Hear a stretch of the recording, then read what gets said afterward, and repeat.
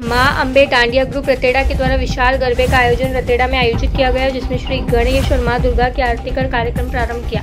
और गरबे में रंगारंग प्रस्तुति दी गई। कार्यक्रम का आयोजन भी माँ अम्बे डांडिया ग्रुप द्वारा आयोजित किया गया था, जिसमें रतेड़ा के कलाकारों ने हिस्सा लिया, जिसमें बहुत से छोटे छोटे नन्हे कलाकार भी शामिल हुए। देर रात तक कार्यक्रम चला। कार्यक्रम कर अंत में आयोजक समिति के निर्देश पर खुला मंच कर दिया गया, जिसमें बहुत से दर्शकों ने भी अपनी कला को दिखाते हुए गरबा का भरपूर आनंद उठाया।